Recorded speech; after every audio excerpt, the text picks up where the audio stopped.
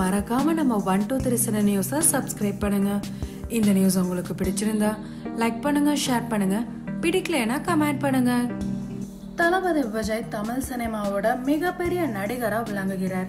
இவருக்கு நாளுக்கு நாள் ரசிகர் கூட்டம் அதிகமாகிக்கிட்டே தான் போகுது. இவர் வசூல்ல மாபெரும் புரட்சி படைத்து வருகிறார். சென்ற வருடம் இவரோட நடிப்பில் வெளியான பிகில் படம் நல்ல வரவேற்பை பெற்றது. முன்னூறு கோடி ரூபாய் வசூல் செய்து இமாலயா வெற்றி பெற்றது. இதனால் தளபதியின் சம்பளமும் கூட உயர்ந்தது என்பது நம்ம எல்லாருக்குமே தெரிஞ்ச விஷயம்தான். அதுக்கப்புறம் இயக்குனர் லோகேஷ் கனகராஜ் இயக்கத்தில் மாஸ்டர் திரைப்படத்தில் நடித்து முடிச்சிருக்கார். இந்த படத்தோட பாடல் ஃபர்ஸ்ட் லுக் எல்லாமே நல்ல வரவேற்பை பெற்றது. எல்லாருமே படம் எப்படா வரும்னு எதிர்பார்த்து காத்திருந்த ரசிகர்களுக்கு கொரோனா மூலமா அதிர்ச்சி ஏற்பட்டது.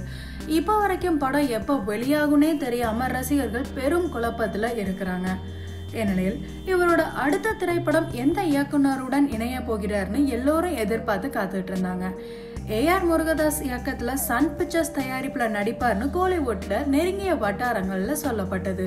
ஆனா இன்னும் அதை பத்தின எந்த ஒரு அதிகாரப்பூர்வ தகவலும் இன்னும் வெளியாகாததுனால அதுவும் உண்மையா பொய்யான்னு இன்னும் தெரியல.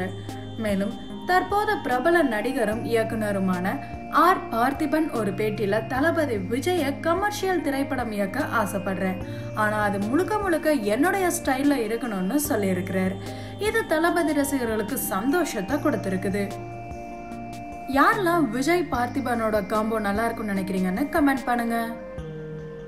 இந்த மாதிரி நியூஸை தொடர்ந்து தெரிஞ்சுக்க மறக்காம நம்ம ஒன் டூ த்ரீ செவன் நியூஸை பாருங்க.